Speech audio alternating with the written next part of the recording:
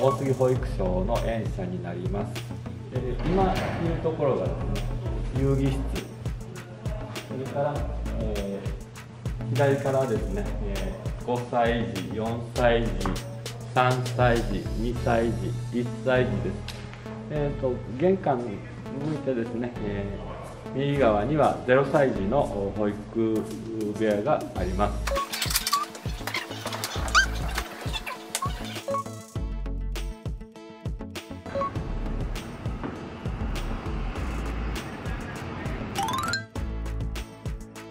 こちらの方が正面玄関になっておりまして、ええーまず吹き抜けのデザインになっております。あの上部上部のところに垂幕とかを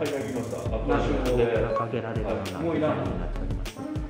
こちらは靴箱で、えっと向こうが見渡せるような、デザインになっております。